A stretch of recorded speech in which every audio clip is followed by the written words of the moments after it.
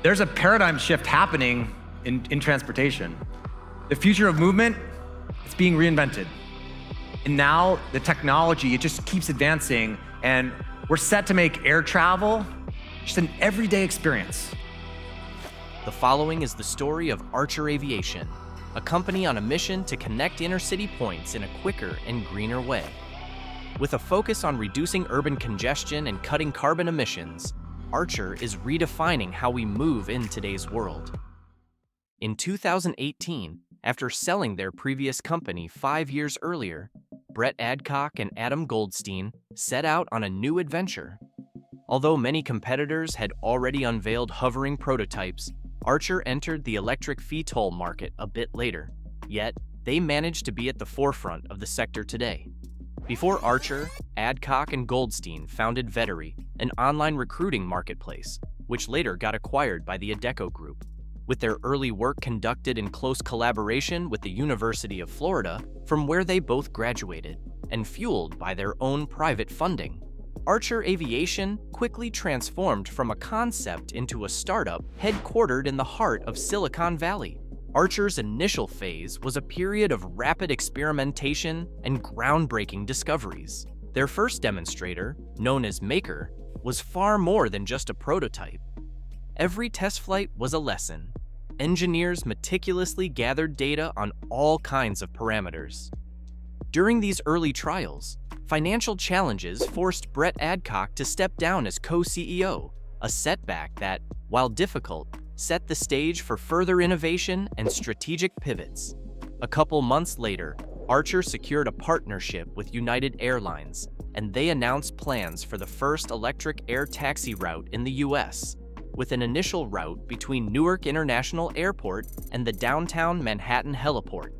Shortly after this announcement, Archer introduced a more refined production model known as Midnight.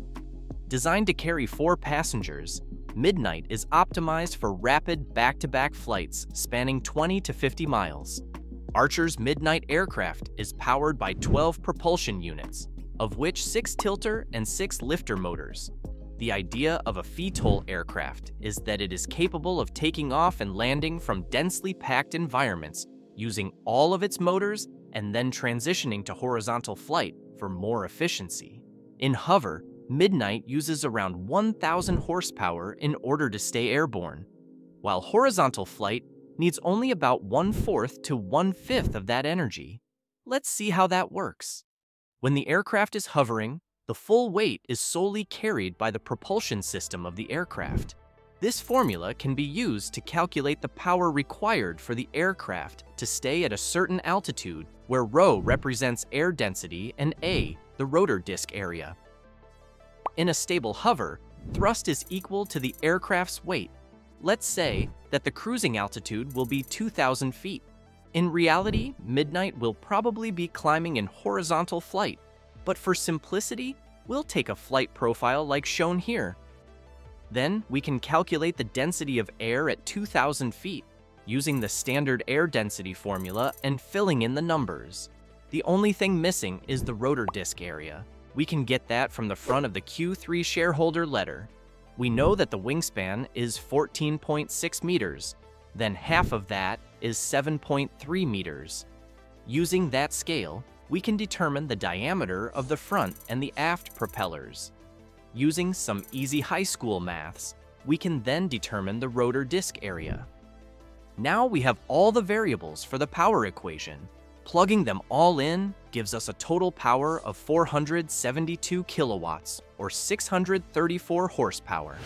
For horizontal flight, we begin by determining the thrust required to calculate the necessary power.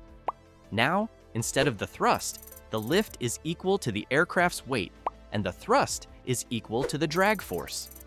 Given that the aircraft's lift-to-drag ratio is approximately 11.3, we can calculate the needed thrust. Using this formula, we can then determine that the total power required for cruise is 171 kilowatts or 229 horsepower, which is indeed around three times smaller than the power required for vertical flight. Although the computed value differs from the 1,000 horsepower cited by Archer, the difference can be attributed to factors such as parasitic drag, as the propeller arms block part of the disc area. Motor efficiency, as not all electric energy can be perfectly converted into rotational energy, and the aerodynamic profile of the propellers, as they also have a drag component working against the motor. So 1,000 horsepower is definitely possible for stable hover, and this isn't even when accelerating upwards. Midnight has six individual battery packs each supporting two motors.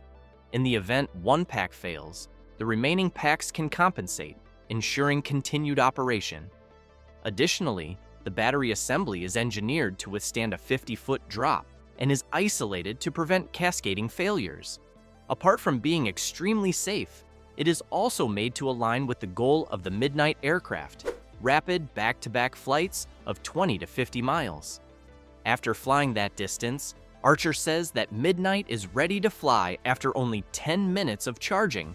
Let's see if that's a realistic claim. Midnight has an 800 volt battery system, delivering a combined capacity of 142 kilowatt hours and a maximum range of 100 miles.